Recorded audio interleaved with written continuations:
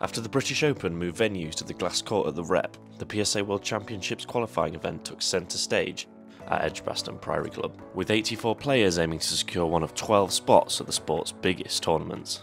Six qualifying places have already been confirmed at the PSA World Championships. You can catch up on those results on the video we have already posted on the PSA Squash TV YouTube channel and Squash TV. The opening match on Court 4 saw Spain's Marta Dominguez Fernandez take on England's Alicia Mead. Fernandez, who qualified for last season's World Championships, came through to make a second Worlds in succession thanks to winning the third and fourth games of her clash with Mead. Yeah, I'm really happy. It's the second time that I, I, can go to the World Championship, so for me it's amazing. It's a dream. I, I was nervous, but uh, I think I played really, really good. So I'm happy with my performance and to be in the World Championship. The English interest continued into the second match of the day as Simon Herbert took on number six seed Martin Svec. Herbert had started the week with a wildcard spot at the British Open, taking Germany's Raphael Kandra to a fifth game.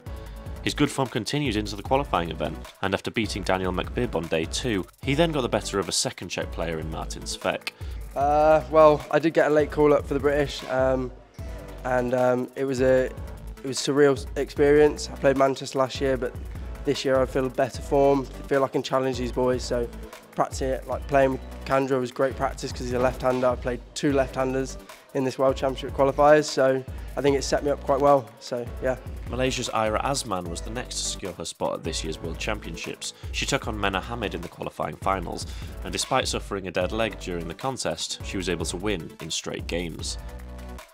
The Malaysian, the number 3 seed for the competition, suffered the dead leg on the opening point of the third game. After receiving treatment, she came back onto court and quickly reeled off winners to secure the victory, and to join her older sister Aifa as the fifth pair of siblings at the PSA World Championships in Chicago. Very happy to qualify for the World Championship for next month. Uh, I just tried to push myself through because I already to live up, so I think uh, mom was quite delighted for us to be playing there. Uh, it's my first time, so I think she would support me and go through all of it together. The main attraction of the week was former world number 7 Mohamed Abouelghar. The Egyptian, who has reached the last 16 of the sport's premier event on three occasions, including on his last appearance in 2020-2021, was one of the favourites to book his place. He did not disappoint as he defeated England's James Peach 3-1 in the qualifying finals. Yeah, I feel great. Uh, uh, I mean, before uh, starting my comeback, I knew that there is potentially a chance that uh, I'd have to qualify, and uh, yeah, I'm, uh, I'm very happy I'm through. Yeah, I'll, uh, I mean, uh, I'll, I'll, probably wait until September for uh, for my uh, next tournament after Chicago because I don't think I would get in in, in El Gouna. But uh, yeah, it's part of the process. I, am happy I'm back. I'm, I mean, competition match is something different than training. You know, you can train as much as you can, but once it's an official match, it's different. So yeah, I'm happy I'm getting some matches under my belt and start in a good place at the World Champs, hopefully. He was followed by another Egyptian victor, as 18-year-old Malak Khafagy also downed English opposition. Khafagy had gotten the better of the tournament's number 5 seed to reach the qualifying finals, where she came up against Asia Harris. The two juniors went head to head for a place at the World Championships, but a tight first game went the way of the Egyptian. She then went on to win both the second and third games by 11-6 scorelines to reach the sport's biggest tournament for the first time. As I said, I, I can't believe it. I, like a week or two weeks ago, I was playing a 5K. Now I'm playing a World Championship. It's like it, it doesn't make any sense to me. After winning like three matches, it's it's it's, it's like yeah, I can't believe it really. Um, yeah, I'm I'm gonna try to give it everything in my word in the World Championship. I'm trying maybe I would I could win one match or something. I, I would give everything. Yeah, I, I'm so happy. The last man to reach this season's World Championships was Malaysia's Ivan Yuen, who played England's Finlay Withington.